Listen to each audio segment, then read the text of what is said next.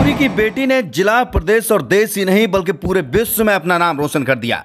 गीतांजलि श्री मैनपुरी में जन्मी भारत की वो पहली महिला है, जिसे अंतर्राष्ट्रीय बुकर प्राइज मिला। गीतांजलि श्री को खुद नहीं पता था कि उन्हें इतना बड़ा खिताब हासिल हो जाएगा। आज मैनपुरी की गीतांजलि श्री की चर्चा पूरे विश्व में है। बच्चा बच्चा उनके बारे में जानना चाहता है।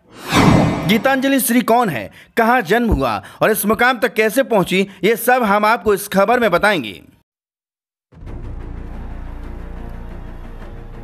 दरअसल मैनपुरी ज़िले में जन्मी हिंदी की जानी मानी कथाकार गीतांजलि श्री के उपन्यास रेत की समाधि के अंग्रेज़ी रूपांतरण टॉम ऑफ़ सेंट को इस साल का अंतरराष्ट्रीय बुकर प्राइज मिला है। यह पुरस्कार लंदन में आयोजित समारोह में दिया गया। उनकी इस उपलब्धि ने अंतर्राष्ट्रीय स्तर पर देश, प्रदेश और मैनपुरी को गौरवान्वित किया है।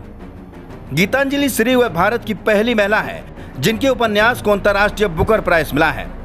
पुरस्कार मिलने के बाद गीतांजलि श्री ने कहा, उपन्यास को लिखते समय उन्होंने कभी कल्पना नहीं की थी कि एक दिन उनकी इस कृति को इतना बड़ा सम्मान मिलेगा। इस पुरस्कार से हिंदी साहित्य और साहित्यकारों का सम्मान बढ़ा है। गीतांजलि श्री पिछले 23 वर्षों से लेखन कार्य कर रही हैं। उन्होंने पहला उपन्यास माई लिखा था। वह अब तक कई उपन्यास और कहानी संग्रह लिख चुकी हैं। गीतांजलि श्री का जन्म उत्तर प्रदेश के मैनपुरी में 12 जून उन्नीस को हुआ था।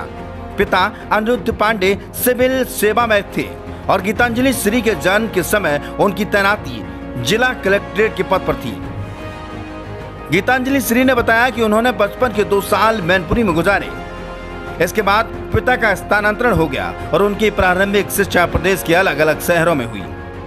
लेडी श्रीराम कॉलेज दिल्ली से स्नातक और जवाहरलाल नेहरू विश्वविद्यालय से इतिहास में एमए किया। वर्तमान में वह दिल्ली में निवास कर रही हैं।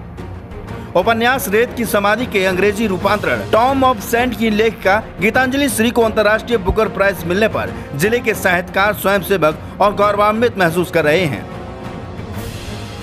हर्ष जताते हुए उन्होंने गीतांजलि श्री को बधाई दी है।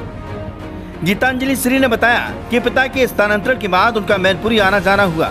मैनपुरी के बारे में उन्हें याद नहीं है। माननीय श्री पांडे से मैनपुरी का ज़िक्र कई बार सुना। मौका मिलेगा तो मैनपुरी ज़रूर आएँगी। गीतांजलि श्री को अंतर्राष्ट्रीय बुकर प्राइज मिलने से ज़िले की अंतर्राष्ट्रीय स्तर तक पहचान हुई है। कुछ समय पहले तक ज़िले के युवा साहित्यकार भी उनके बारे में नहीं जानते थे। आज भी गीतांजलि श्री की राह पर चलना चाहती हैं।